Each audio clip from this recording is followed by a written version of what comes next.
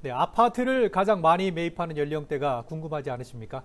아, 지난해 제주에서 30대 아파트 매수자 비율이 처음 40대를 추월했습니다. 네, 향후 집값 상승으로 인한 내 집 마련에 대한 불안감과 대출 지원 정책으로 아파트 시장의 큰 손이 40대에서 30대로 넘어간 것으로 풀이되고 있습니다.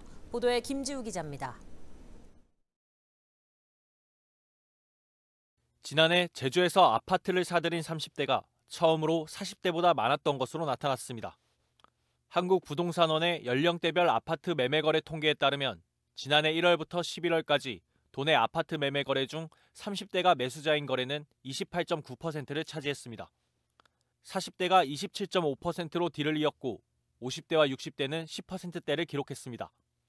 30대 매수자 비중은 관련 자료가 공개되기 시작한 2019년엔 23%대에 그쳤으나 지난해에는 30%에 육박했습니다.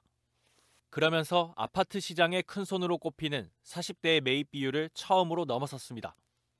부동산 가격이 불안정했던 지난해 30대의 아파트 매수 비율이 40대를 추월한 것은 향후 집값 폭등에 대한 불안 심리가 작용했기 때문으로 풀이되고 있습니다. 아파트 값이 하락 조짐을 보이자 그나마 지금이 저렴하게 내 집을 마련할 수 있는 시기라는 인식이 확산된 겁니다. 지금 현재는 집값이 숨고르기를 하고 있는 건 사실이지만 건축비 상승이라든가 인건비 상승 등으로 인해서 향후에 집값이 굉장히 비싸질 걸로 보고 있는 거죠.